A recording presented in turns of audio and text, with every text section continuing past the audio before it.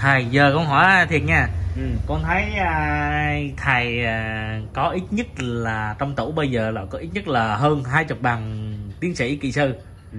mà sao con không thấy tấm hình nào mà thầy à, đứng lên bục và được hiệu trưởng trao bằng thầy? Không hồi xưa không có. Hồi xưa là với họ không phải không có mà không có chụp hình. Ủa mới chụp hình vài năm nay Ủa, con thấy mấy cái tấm hình mấy cái bằng mà thầy nhận năm 2020 rồi coi gần đây mà. Không mà giờ cũng không có. Giờ không có ờ, mình chụp là trường. Tại À. mình lại muốn lấy á là xuống trường hồi xưa lưu. Hoặc cái trường là có video. Ừ. còn ờ, một số chụp riêng á là hồi xưa không có cho chụp và không có cho ai vô chụp riêng. Còn sau này thì có đầu tư có cái hiện đại. Với hồi xưa trời ơi, chụp hình bộ đâu phải giải hồi đưa ông bà chết còn muốn chụp bộ hình rửa bộ hình không có. À. rồi hồi xưa thì à, ta lên ta trao thôi cửa ờ, phát biểu rồi trao chứ đâu có quay phim chụp hình. Dạ. cách đây năm sáu năm 10 năm thì có. À. còn hồi xưa giờ thầy nói nè hồi xưa đến nói chụp hình mà thầy còn nhỏ cha mẹ giờ cũng không có luôn.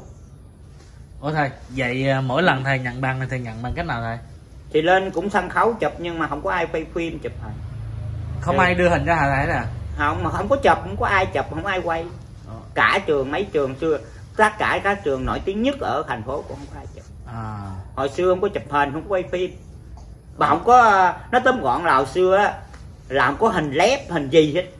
Mới sau này sau này mới có. Hồi xưa cũng với chợ viết bằng phẳng. Đâu mà bản à, bản bản hồi xưa viết lông à, rồi rồi có cũng máy chiếu hồi xưa cũng cũng có nhưng mà người ta cũng không có sử dụng. Mày làm một hai lần cũng bỏ con à, con tốt nghiệp thời 2015 vẫn có chụp hình thoải mái 15 là mới mà à. có nghĩa là từ à, dưới 2010 ừ. là không có ờ, giáo viên tiến sĩ nào mà có hình ảnh nào hiệu trưởng trao toàn là có trao lên sân khấu thiệt nhưng mà không có ờ, không có chụp hình quay phim không có trường nào quay phim chụp À, hình và rồi mấy nè thầy nói giờ hồi cấp họ cấp 1, cấp 2, cấp 3 Ừ. hơi thầy học cũng không có tấm hình nào mà lên bằng khen cũng không ai chụp hình mà trao ờ, bằng cấp cũng không ai chụp hình mà trực tiếp đâu không lấy bằng gì lại văn phòng ừ. cũng không có lên bục mà cũng không có chỉ có cái gì lên bục là như học chuyển tra ai trao không hồi đó cũng đâu có điện thoại đâu chập yeah. đó thầy nói từ ờ, thầy học năm 2003 đến 2010 trở đi á Yeah. Không có cái điện thoại điện thoại nghe còn không có nữa làm gì điện thoại nghe điện ờ, làm gì có màn ảnh ờ, có mạng chat rồi có email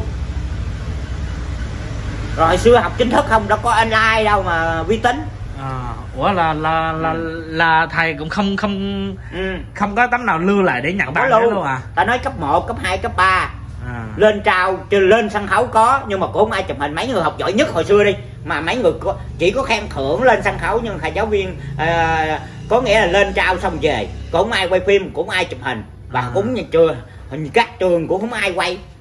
Không có thợ nào quay mà cũng không cho lưu lại mà hình như không có chụp hình quay phim gì cả. Hăm mấy bằng tiến sĩ là, là không có lễ trao luôn? Có Buồn. trao hết chứ. Cũng buồn ha. Trao À, nhưng mà đó không có chụp. 2010 mấy nè gì? 2016 nè. Ừ. à, thấy mười khó Ừ. không Ừ. thầy biết uh, cô này không mày lớp gì trường gì à.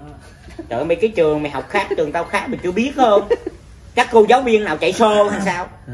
trường nào là người ta có trường quản lý cho giáo, giáo viên đó mà trường nào dạy đó trời ơi, ta nói dạy cái lớp này xong qua cái tiết khác lớp đó trong một cái trường không chạy xô còn không kịp mày nghĩ sao cái trường này cách cái chục cây năm mười cây đi qua đi lại sao kịp thầy nói hồi xưa thiếu giáo viên Ừ.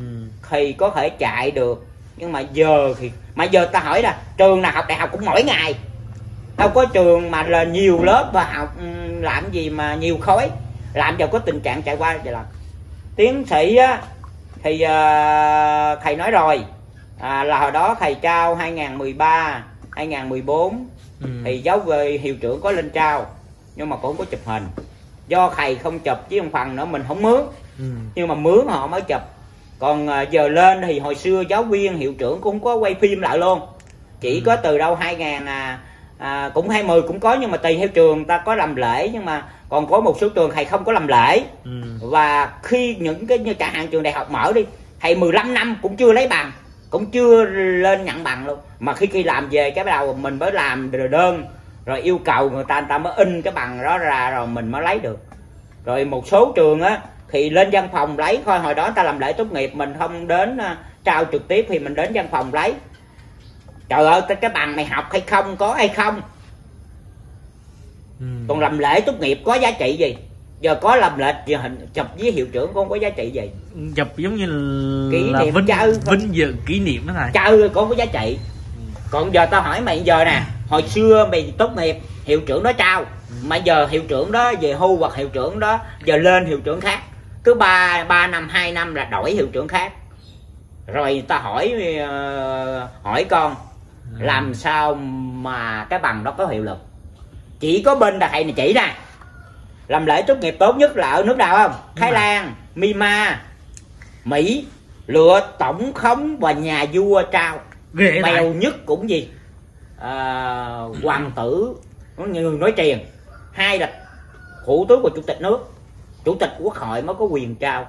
Hiệu trưởng không có quyền trao. Ủa là thầy được trao bên đó chưa? Có. À, có chụp hình luôn.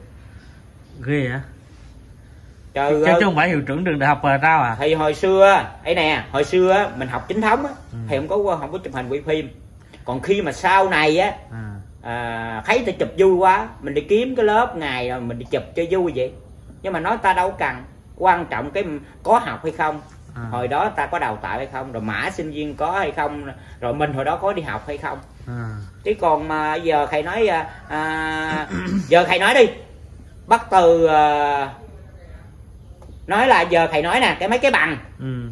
cách nhau à, tám chín mười năm trở đi hình như là lên coi mẫm bấm mã sinh viên cũng hình như bị xóa sạch và không có rồi nhiều cái mà hình ảnh đi hồi đó video không có một video hay một website nào chứa nổi những cái lễ tốt nghiệp mỗi năm ta tổ chức hoặc một năm đó có bao nhiêu học sinh ra trường mấy kỳ để à, trao bằng làm sao quay cho hết rồi làm sao đăng lên nổi Ừ.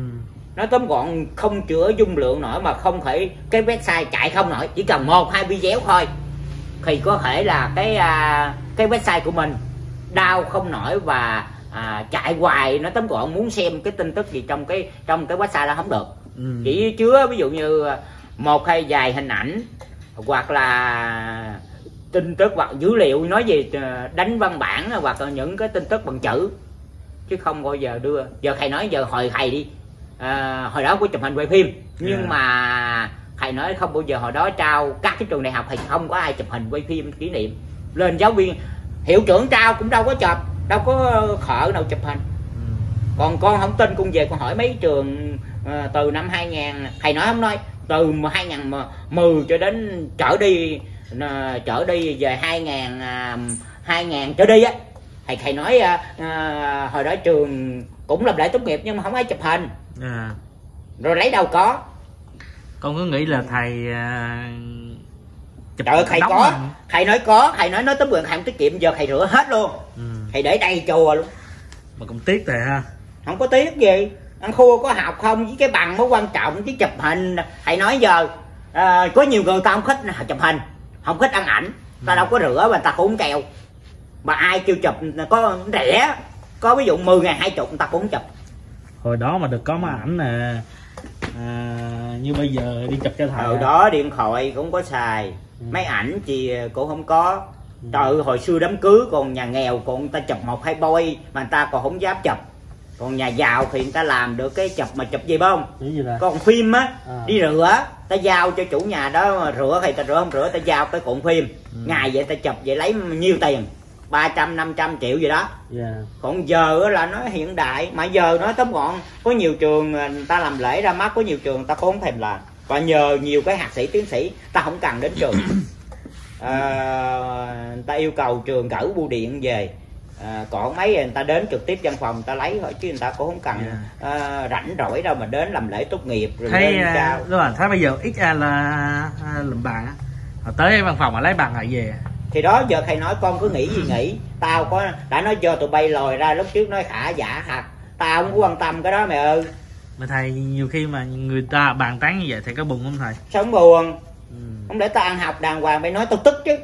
Tức tao ngừng tu rồi mà tao còn tức nè. Tao gặp mày tao xé chát ra. Tao tao tao, tao chặt từng khúc khúc khúc khúc tao ăn.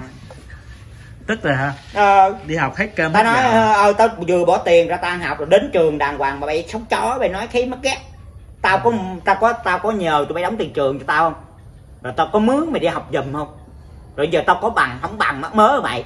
Mày có ăn học thì mày có cái khớp mày không có học mày vô rồi giờ mày có bằng thì mày đi học tao nói kêu mày chứng minh cái bằng mày ra đi. Mày có bằng không? Người ta có bằng cái danh thị giờ tao nói giờ họ nói đi tao không có hơn thua gì hết á. Nhưng mà có cái mày nói chi chuyện của tao. Thấy không? Đúng rồi.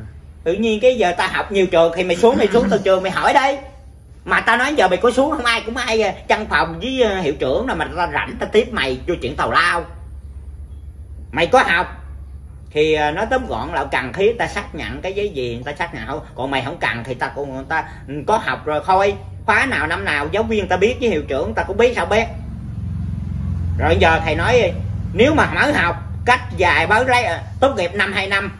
Ừ. thì là ờm, gõ lên cái à, cái mã sinh viên là có hết. Còn lâu quá nhiều khi á, nhiều tr- trường có trường lưu mãi có trường không lưu mãi thầy cũng không có nói chấm dứt hết phải không? Đúng rồi, rồi còn mày đang học nè tao nói mày đang học là sinh viên nào bấm là có liền. Ừ.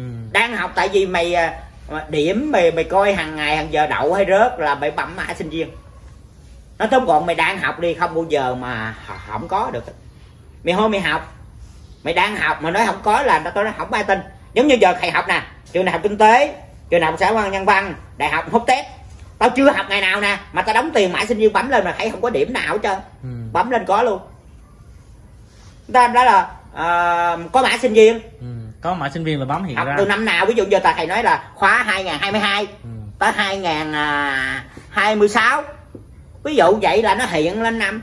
Có gì tao sợ? Giờ mày bấm lên đi. Tao có mã sinh viên hết chứ không có à, sợ mày không học thôi. Mà khi học xong rồi năm 10 năm không lẽ người ta lưu hoài làm gì? Mà mày cũng đi làm rồi giờ người ta xuống ờ, người ta biết mày có ăn học thì người ta cũng chờ ở cái trường nào tao nói không ai văn phòng tao làm lâu lắm cả đời người. Tao nói mày á hiệu trưởng có thể thay thế được nhưng mà nhân viên nó làm cả cuộc đời luôn. Đúng rồi. Nó ngồi văn phòng suốt luôn làm đúng một mà ta còn chọn nó nhiều nhất ở đây. Kinh nghiệm ta còn khích nữa. Trừ khi vô nó làm bậy người ta mới đuổi thôi thứ nhất nó bán bằng hoặc nó làm làm không đúng hồ sơ hoặc nó cãi lại hiệu trưởng mới đuổi nó. Chứ tao hỏi mấy nhân viên văn phòng nó ngồi thường trực năm này qua năm tháng cho suốt cuộc đời tới già luôn cũng không ai đuổi ta nói bởi vậy cô tụi con á đừng ham lên chức chủ tịch ừ. đừng ham lên chủ tịch dễ bị khai khế cái ngồi đó lắm. Mà con làm nhân viên bình thường thì làm cả cuộc đời con. Chứ con đừng ham lên chức cao. Chức cao ta dành cho những người nó tóm gọn lại là phấn đấu khắc khà dứt khoát. Và làm việc chân chánh thì ai cũng bầu mình lên làm chức sắc đó. Còn giờ ta cũng bầu mày lúc người ta nói vậy nhưng mày làm năm hai năm mày sai phạm nhiều thứ rồi ta cũng cho mày rớt ghế bầu người khác lên nhiệm kỳ. Để thôi để thầy bật đèn lên. làm lính đó thầy chứ không khỏe à? Ờ thầy nói cái trường giờ còn đi mấy giáo viên mà giáo viên dạy nhiều khi ta dạy cũng tới bạc tóc vẫn còn giáo viên nó dạy. Có sợ còn không học tao không biết mặt thôi. Còn bảo vệ thì ta nói làm năm hai năm cũng đổi bảo vệ khác rồi bảo vệ này lưu chuyển làm đây không được đi chỗ khác. Ừ. còn riêng thầy nói văn phòng mấy cái người nhân viên làm bền lắm không bao giờ. Không biết tao đến cái trường nào mày xuống mày học mặt mày đưa cái hình thôi ông nội nó cũng biết nữa. Có sợ ờ, nó tóm gọn lại. Mà khỏi lo. Giờ thầy nói giờ á, mày đến mày bấm liền tao giờ tao có nhiều cái lớp tao học mà. Nè thầy nói thầy học cần một chứng chỉ đó thôi. Mà thầy cũng đăng ký ký đại học luôn tao đóng tiền luôn tao bỏ chơi vậy có thằng nào mày thôi mày dạo đi mày ngon mày đây- đến trường mày đóng tiền mày bỏ mày không cần học mà không cần mày cần mày học sơ cái gì mày cần thiết bỏ có, luôn. có thằng nào ngon giàu như thầy đi à? Ờ ngon dạo tao mày đi học giống tao rồi mày ngon mày đi học như tao đi. Thầy chịu chơi ganh tị hơn thua tranh giành. Em mệt. Thầy đi tu học lấy kiến thức mà, ừ. mà cũng với giờ tao nói mày chỉ cần à, à, người mà đã gia đình tao có có chức có phận tao cũng không nó tầm còn tao không đòi hỏi gì chứ giống như giàu có thì tao có vốn đầu tư tao cũng không cần chơi với ai không cần qua lại với ai. Rồi còn ăn học tiến sĩ rồi tao rồi tao hỏi mày đã mày học đàng hoàng làm bài đàng hoàng. Cũng ai rảnh ngồi lên chờ đợi lên sân khấu lấy cái bằng tao lợi văn phòng tao in ra hoặc ờ, người ta bấm cái người ta nói học năm nào lấy bằng cái ta, ta đưa cái sọc. Ừ. đúng rồi. Không ai mà ngồi thời giờ đó mà trao trao mà Việt Nam mình trao có giá trị gì? Còn bên nước ngoài á bên Thái Lan nha. Ừ. tổng thống thủ tướng hoặc vua trao mà bên Thái Lan vua trao không? Vua sao luôn. Không Ghê bao đó. giờ cho thủ tướng cho chủ tịch chủ tịch nước của cả thủ ngàn tướng cũng không trao cả ngàn sinh viên mát thì cả trị sinh viên cả mà. nước luôn. Người ta chia ngày ra. Bữa nay vua đi cái tỉnh này hoặc là Ừ. lên à, lên à, lên nhà vua. Ừ. lên một cái trường nào đó ngay cung đình vua. Bên Thái Lan ở đâu? Ai ra trường? Ừ. bên Phật giáo là có một cái vua sải. Bên đời có một vua đời là vua của đất nước quản lý cả nước. Bất cứ ai tốt nghiệp trường đại học nào ra vua với với có nói vua hoàng hậu công chúa hoàng tử đi chào. Chứ không bao giờ có tình trạng thủ tướng trao luôn. Dạ. Còn bên à, thủ tướng là đâu có không? Ở Không. Campuchia. Campuchia là có thủ tướng Hun Sen là người trao. Cứ đâu có cái trường nào đại học là thủ tướng trao mới có giá trị. Thủ tướng uh, Hun Sen trao à? Ừ còn cái bằng cấp. Là hiệu trưởng ký tên. Cái hiệu trưởng ký tên mới quan trọng á. Còn vua là người đại diện. Trao để là ai cũng phải coi vua là người có nghĩa lớn nhất của một đất nước. Ừ. nói như Việt Nam mình đi. Mấy trường đại học không mời thủ tướng chính phủ trao hay chủ tịch nước hay chủ tịch quốc hội hay là bộ trưởng bộ giáo dục trao. Ừ. toàn là thấy trường nào là hiệu trưởng trường hoặc là đại diện một cái hệ tiến sĩ nào trao không? Thì Việt Nam mà cũng không cần thấy thầy nói trời ơi quan trọng có học hay không nè. Nè chuẩn bị. Năm 2023 này trở đi nè. Thầy nói tất cả cả nước mình cán bộ công chức viên chức gì? Từ bằng hạt sĩ tiến sĩ là người ta hả? Nó tóm gọn là kiểm tra rất chặt chẽ coi có hay không. Ừ. vậy thôi thầy không nói gì. Còn văn có bằng không bằng gì kệ mày mà mày dốt miệng có vốn làm công ty mày giàu còn không? Mày mày mày, mày, mày, ờ, còn mày mày ăn học cũng kệ mày. Mày không ăn học cũng kệ mày có bằng thì mày không bằng không quan trọng